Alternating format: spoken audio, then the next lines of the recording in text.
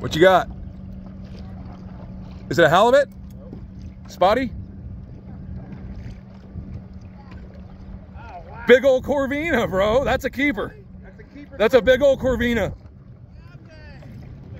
Big bad Uncle Ben with a pretty nice size Corvina. You should have a pair of pliers in your bag right there.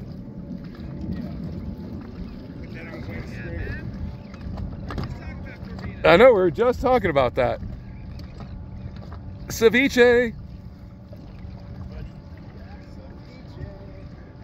Now, if you want, you can put the fish grips in his mouth and just manhandle him.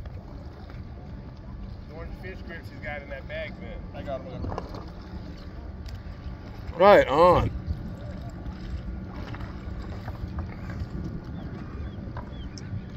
Dude, that's a nice size Corvina.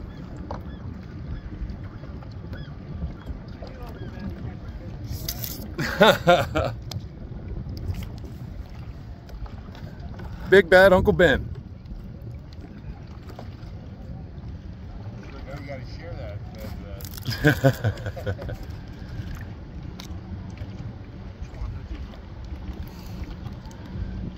Just yank the crap out of it. There. Right on. Let's. yeah, that's a nice, that's a. That's a nice one, dude. Now, what you're going to need to do as soon as you get him situated, you're going to have to kind of pedal away because you're getting blown into uh, the shore. Should I give it to you or? yeah, in one second. Um,